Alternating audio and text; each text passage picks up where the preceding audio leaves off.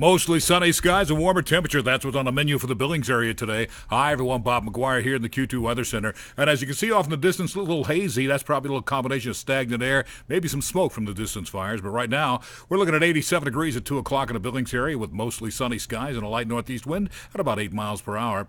Now, as far as watches and warnings, there's not much going on from Montana, but just next door in Idaho, we do have a heat advisory, 95 to 100 degree temperatures there. That's probably going to get into the Billings area sometime around Thursday or so. In the meantime, today, we just had on our thunderstorm outlook, we just have some isolated showers moving in from the west. The bigger stuff that's moving into North Dakota today. So let's take a look at that on the Doppler radar and satellite imagery. You see that's exactly what's happening. It's following the Missouri River, heading in towards the Dakotas. In the meantime, we have a few spotty showers out in west central Montana around Missoula. Just some light rain moving in there. Everyone else enjoying mostly sunny skies today.